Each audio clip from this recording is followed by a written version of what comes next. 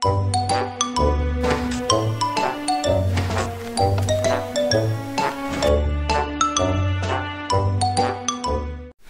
guys! It's Chris again. I will be... This is part two. I will not... I don't know why I said I will be. This is part two of Redstone Schmedstone. Today I'll be wrapping up the basics, going into intermediate, and well, it's an introduction to intermediate redstone circuitry. So that's exciting as heck. So alright, let's wrap up basics.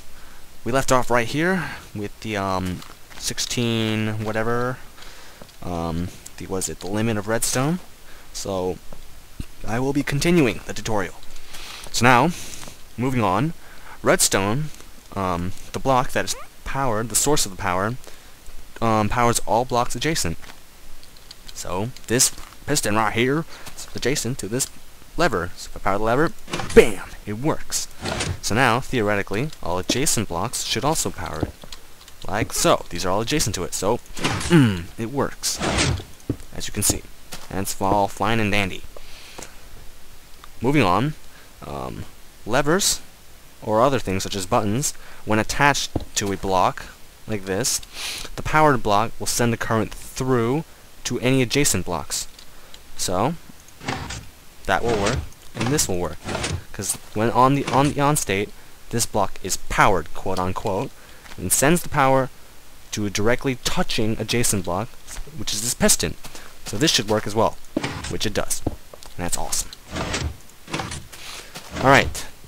Also, the powered block, quote unquote, as I've said before, as I said, it will power anything adjacent to it, and it will power wire, which, because it is adjacent to this powered block, and send the current, so this piston should go up, which it does. And also powers this, which is also adjacent to it. We can do that. Another thing that you have to remember when using pistons in your contraptions, one second, is that you can't just power the block right next to it like this. If it's directly adjacent to it like this, it won't work.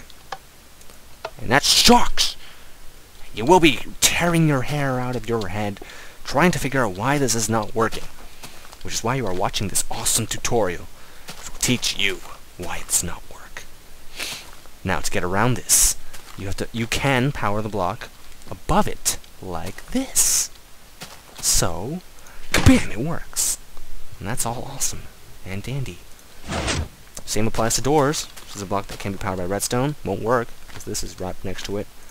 Ugh, does not work. Moving on. Redstone blocks, the source of redstone power, like I said, powers all adjacent blocks, but this is more in-depth. All these lime green wool blocks represent blocks that will be powered when I turn this lever on. Now you can't see it, which is obvious. I, I will be demonstrating.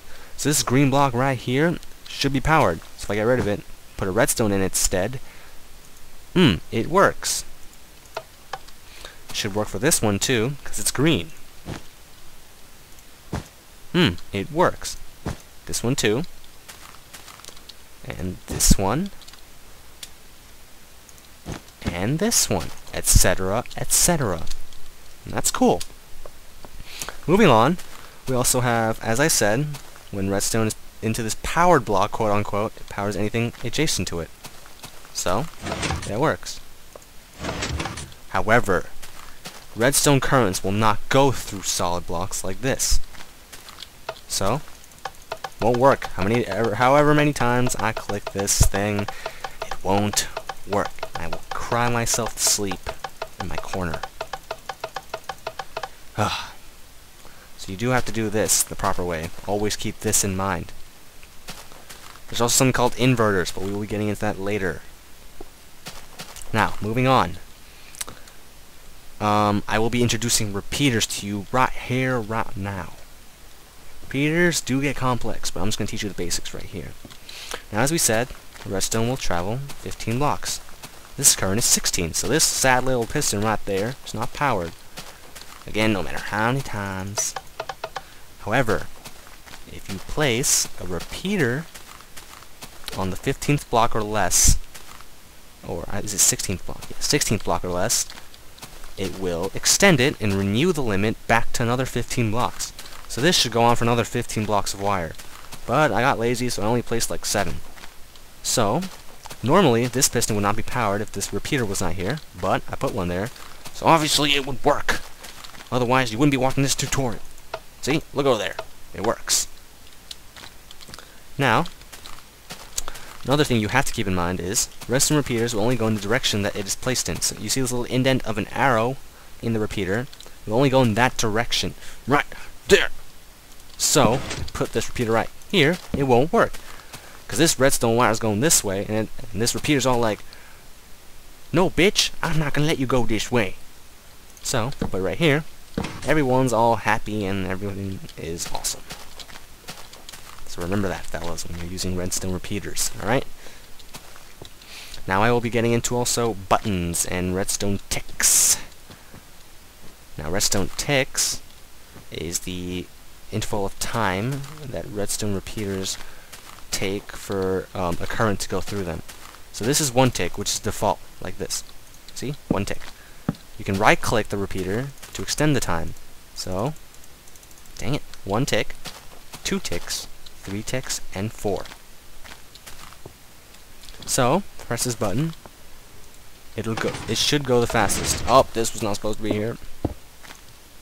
Dang it. Fail.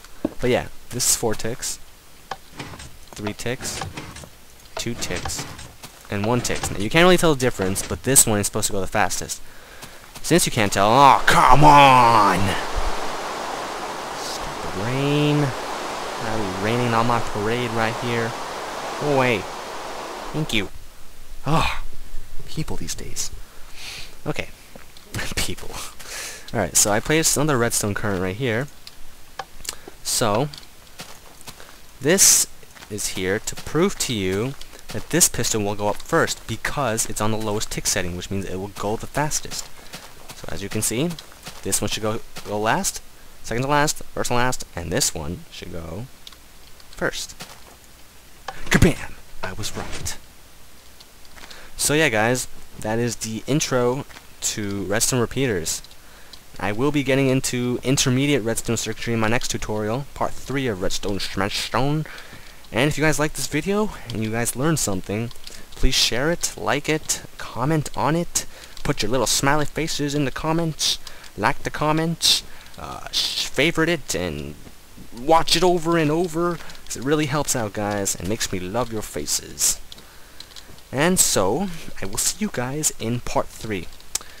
If you do want to be notified of my tutorial series and etc. videos, let's plays, please hit the subscribe button in this corner right... Oh, I can't look over there.